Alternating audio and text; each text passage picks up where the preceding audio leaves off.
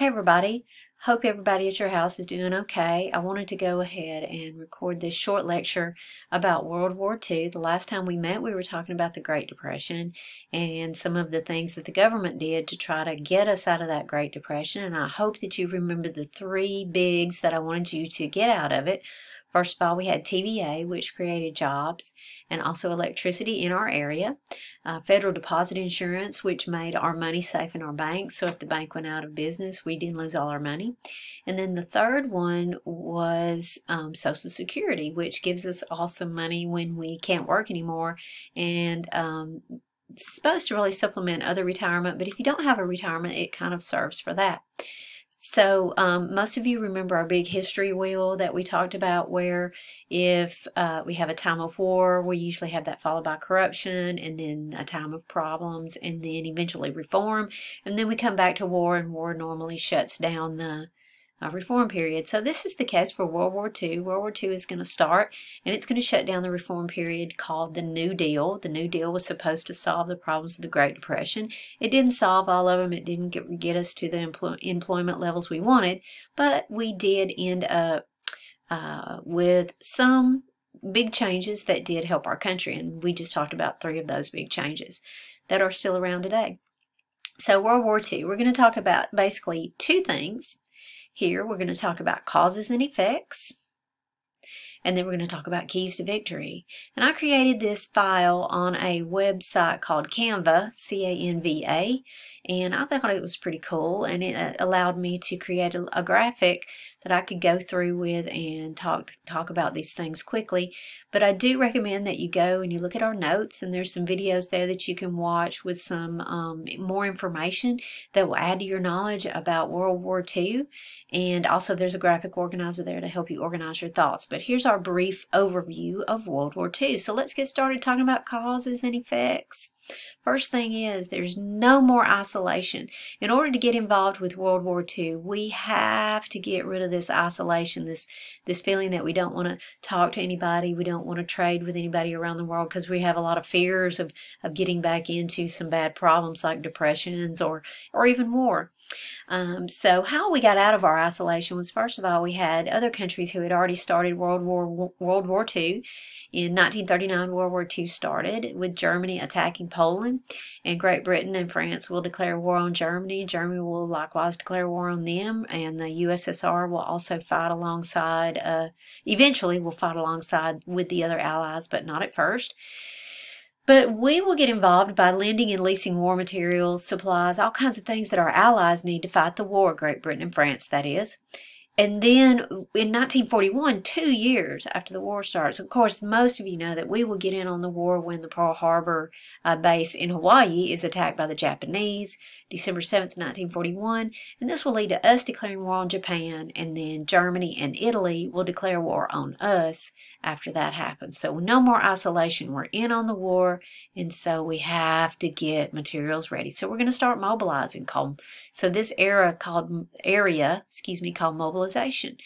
We're going to control everything, just like we did in World War One. But it's even going to be even more control than World War One, because World War Two is a much bigger war. You might remember that we had a Eastern Front and a Western Front and a land war and an air war. So we're going to, going to control production. We're going to control prices. We're going to control labor and we're going to control striking. And we're even going to ration things because we want to make sure that our boys at the front are getting the things that they need. And so we had to ration products at home sugar, chocolate, rubber, um, all kinds of other food products. Gasoline was a big one. So just about everything is rationed and controlled by the government to make sure that people at the war front get what they need. We all talked about before in World War One how sometimes minorities get some extra opportunities during a time of war. This is the same with World War II. We're going to have Mexican Americans who will come across and help us with farming. We'll have women enter the workforce and work in factories, and their poster child that represents and calls women to go work in those factories is, of course, Rosie the Riveter, and she was at the top of our presentation. The Tuskegee Airmen were a group of African American pilots who will go and escort bombers in Europe. and they would play a big role in keeping those bombers safe. And the Navajo Code Talkers, these are a group of Native Americans recruited by the U.S. military to create a secret code language, and this code language was never broken.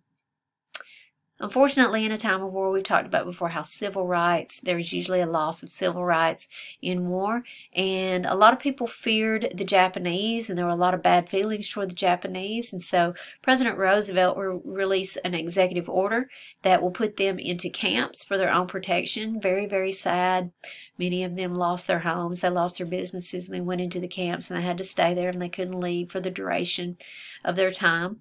And uh, one person, one Japanese American, he tried to fight this in, in the courts. His uh, name was uh, Fred Korematsu, and he will fight his case all the way up to the Supreme Court of the United States. And unfortunately, the Supreme Court will agree with this practice in the time of war. And so Korematsu will have to go to the camp but later on, uh, the U.S. Supreme Court will actually reverse this ruling in the 1980s and pay $20,000 to every uh, person who was in the camps. Um, curious story about Fred Korematsu. He actually tried to change his appearance to appear to be Hispanic, not Japanese, um, so that he wouldn't have to go in the camps. But he was found out, arrested, and eventually sent there. All right, so those are all the causes and effects. And like I said, we've learned about some of those before with uh, World War One and other wars. All right, let's talk about keys to victory. How do we win this big war? Oh my goodness, it was such a big, big war, so much going on. First thing we did was set achievable goals. And so here's a few of the high points of the battles and that show us how the, the Allies set achievable goals. So we achieved a turning point in the land-air war at a battle in Africa at El Alamein. And so this was a, a big turning point for us just in trying to win one part of the war, the land-air war. Second of all, the Coral Sea Battle. In May 1942, we set a goal to end Japanese sea power, and we did that. And then on D-Day, June 6, 1944, we set a goal that we were going to liberate Paris and get France back in the war as much as possible and to clear the way to invade Germany. And we did that. So setting achievable goals was a very big part of our success. Second part is teamwork. Anytime you try to achieve anything that's very hard, very difficult, you always need help. And so the Allies, Great Britain, the United States, and the USSR, they met periodically and they would plan their war strategy. And so here are some of those meetings, some of the most important ones, in which they decided their war strategy and decided what they were going to do. And so you can look at each one of these on the notes and it'll tell you exactly what they decided. But the big point is here is that they worked together and they set uh, a plan and they followed it. Next thing, innovation. This war was so involved and there was so much going on that we had to find new ways to fight the war. We had to uh, set new paths. So here are some innovative things we did. Uh, first of all, the Ghost Army. We involved even artists in the war, and so we had a group of artists uh, who, you know, they might have been working in Hollywood, they might have been uh, drawing pictures. Some of them um, uh, worked in theater. And so these people were really amazing. Their job was to try to confuse the enemy.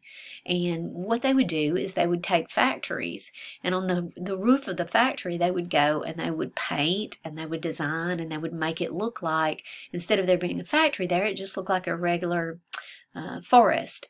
Also, uh, they designed blow up tanks and trucks so that they could set those around and make it look like that the army was someplace it actually wasn't. And another thing that they did was they made recordings of gunshots and construction and all kinds of things. And this caused people to think that the army was somewhere it wasn't. And so it, it totally worked and it was very, very effective, especially in the invasion of France. This is why the Germans thought we were actually invading a different places because of what the Ghost Army did. Um, the Navajo Code Talkers, we decided to try a new way to communicate and we decided to use Native American languages, which not many people understood. And so we recruited those Native Americans. They devised an alphabet, they devised a dictionary, and they made it happen. And it was just absolutely amazing. The Manhattan Project was the uh, secret project to build the atomic bomb. And this was a successful project. Many of you know that this atomic bomb was dropped on Japan not once but twice. to force them to surrender. Very controversial, but um, it happened. And a lot of people have questioned it since it did happen, but the reason was it was supposed to save American lives. And another uh, piece of innovation that's not here was the use of war dogs. I forgot to add this in on our list. And war dogs were really important to helping find the enemy and to protect our soldiers. And these were used in uh, the Philippines in dense jungle warfare. All right, the last key to victory is perseverance. Always, always, when you feel like giving up and things are bad, you've got to persevere and keep going because if you quit, they win every single time. And so here are three examples of battles that were just absolutely awful and people had to really work hard not to give up. First one is the Battle of Britain. This is the campaign of Germany to attempt to force Great Britain to surrender and it was uh, also called the, the Blitz. Uh, due to the amount of bombs that were dropped on London. I think they had 52 days straight where bombs were dropped on London, and the people of England were so worried about the survival of their children that they actually sent them away to live in the countryside uh, where there were no bombings occurring. And uh, you might remember a story called The Lion, the Witch, and the Wardrobe, and that's basically what that's about. But the British held out, and eventually Hitler decided to go invade the USSR. And this is where we talk about the Battle of Stalingrad, which was another very intense, long, and difficult battle where the Russians did not give up. Even women were called out to dig trenches, and they held on and they held on until the winter set in. And then Hitler's troops didn't have all the things they needed, and they were stuck, and it was cold, and they didn't have food, and they didn't have supplies. And so finally, they had to surrender. And then finally, another battle, the Battle of Midway. The U.S. was greatly outnumbered in this battle uh, against the Japanese, but despite that being outnumbered, we didn't quit, we didn't give up, and we used strategy and we won the Battle of Midway, which was the turning point of the um, uh, war at sea. And so you have also in this other battle, the Battle of Stalingrad, this was the turning point of the war in the East. So these battles where we persevered and we kept on and on despite what was going on were very, very important in our success. And the very last uh, battle against Germany, the Battle of the Bulge, was another one where we held on and we fought despite the, the cold, despite the fact that we didn't have good supplies. The soldiers held on because of their perseverance, because of the perseverance of all these people and all the other things we did to win this war, we were victorious. So that winds up our discussion of World War II, the quick discussion of World War II. And again, I suggest you go look at the notes, go watch some videos, learn a little bit more. I hope you're all well, and I will see you next time.